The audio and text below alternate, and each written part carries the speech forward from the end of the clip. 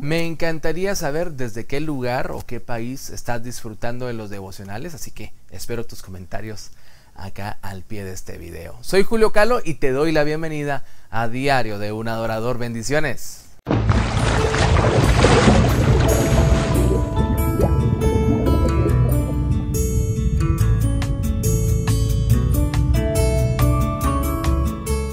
Qué privilegio acompañarte una mañana más.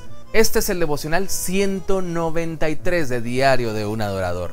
Vamos a reflexionar en lo que nos dice Deuteronomio capítulo 32 verso 4. Él es nuestro protector, sus obras son perfectas, sus acciones son justas, es el Dios de la verdad, en Él no hay injusticia, Él es justo y verdadero. No importan las circunstancias que hoy estemos viviendo, cuando nos sintamos agotados, afligidos, perseguidos o abandonados, pronto esa dejará de ser nuestra situación. Levantemos la cabeza y tomemos las promesas que Dios ha hecho para nuestras vidas.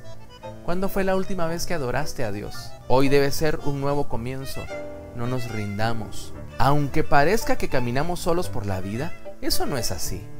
No tenemos un Dios al que le gusta que le entreguemos algo sin dar nada a cambio. Nosotros le rendimos la vida y Él ofrece protección y sus acciones justas sobre nosotros. Él es nuestro protector. Sus obras son perfectas, sus acciones son justas. Él es el Dios de la verdad. En Él no hay injusticia.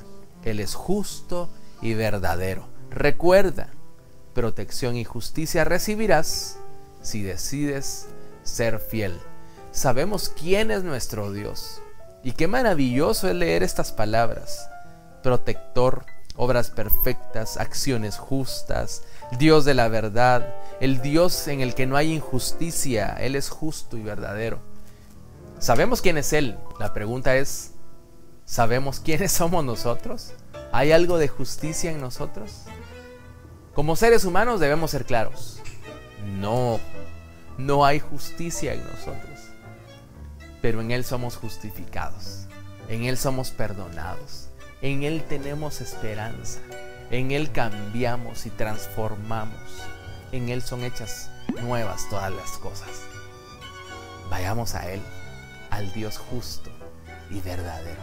Este es el reto para nosotros hoy, el reto para los adoradores. Soy Julio Calo y si papá lo permite regreso mañana con más de Diario de un Adorador. Bendiciones.